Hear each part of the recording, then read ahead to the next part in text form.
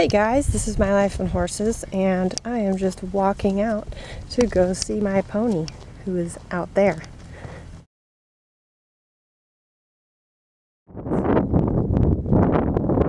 Hi! My lovely girl. I'm filming you. Yeah, hello. Hear it. Yeah, hello. You know, these flies bothering you? Yeah. Oh, careful with the camera. Careful. Careful. Yeah. Okay. no, don't smile. Stay there, stay there. Do you want to try and smile for everybody? You want to try and smile? you have to hold still. I can't get it. Ah, you're gonna eat me.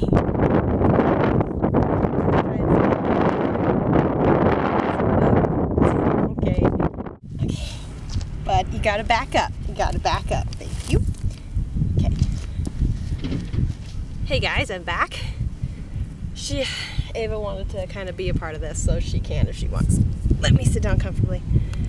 Okay, so today I wanted to talk to you guys about uh, horse ownership options. And just so you know, there's not only one option. So I kind of want to go over that so you could kind of realize that you don't have to do everything that everybody else is doing. So there, I have a couple of categories that I'd like to go over. Um, let me get them out. So there's like the highest level where you're competitive and say you're training like five days a week or something. And Hi, you're being so sweet. You're so sweet today. Yeah, I like it. I like it.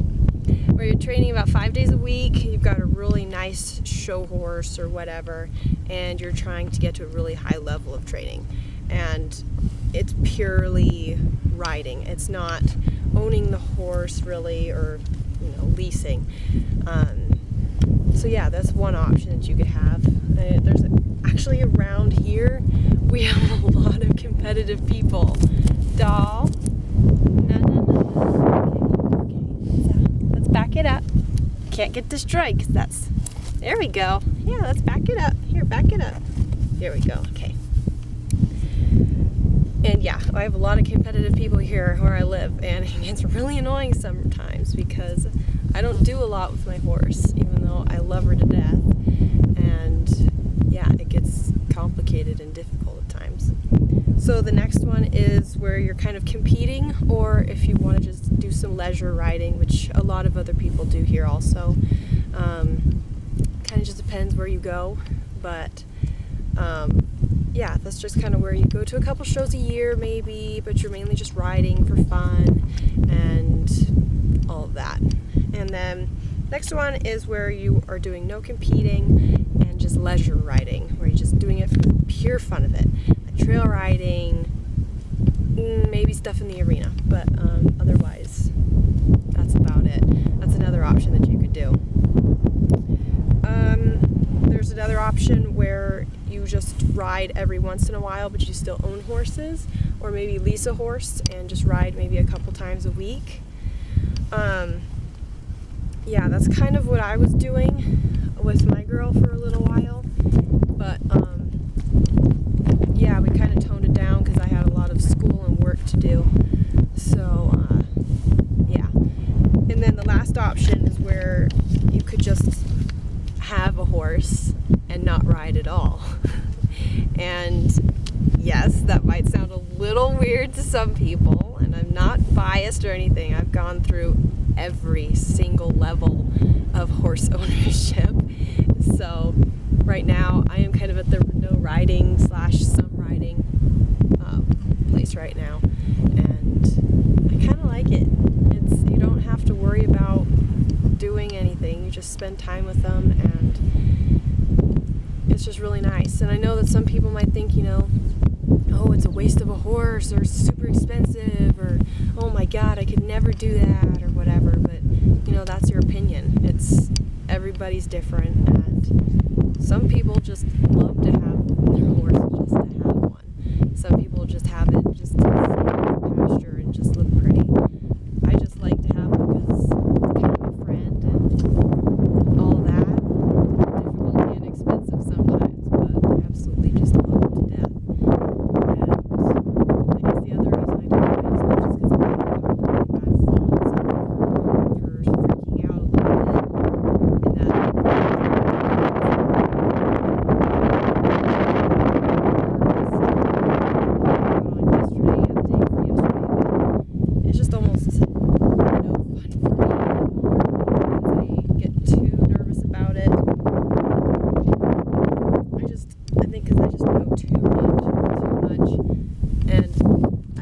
about every little detail, and it's just really difficult.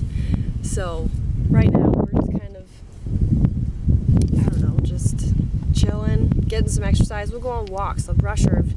Taught her how to smile a little bit, and she's just actually not that bad of a horse on the ground. She's just a little nervous being on the on her back, but you know what? I don't really mind. mind. She's kind of a buddy, and um, that's about it. Since she was two, and she's eight now. Done all of her training, and she's a pretty good girl. It's not like I haven't ridden her a lot. The year of 2012, that summer, I rode five days a week, and uh, Jesus, did I even ride maybe six days a week sometimes?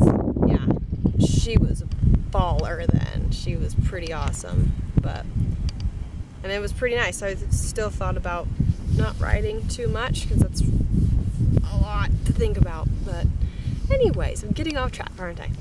So yeah, you have all those options. You don't have to worry about you know living up to the equine world standards and doing what everybody else is doing. I mean, it's your horse or the horse you lease. I mean, what you want to do. You don't have to worry about everybody else or peer pressure or anything. Yeah, you might get a couple dirty looks, but everybody gets dirty looks in their life. So if you're trying to avoid that, it's not really realistic. So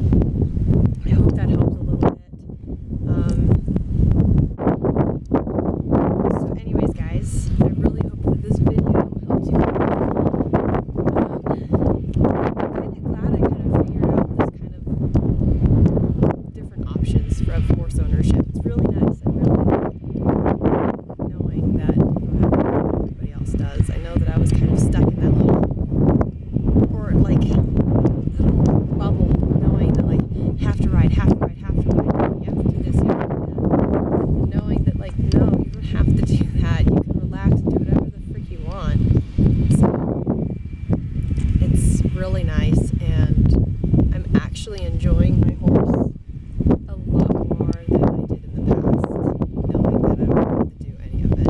It's really nice. So, option. I am not biased.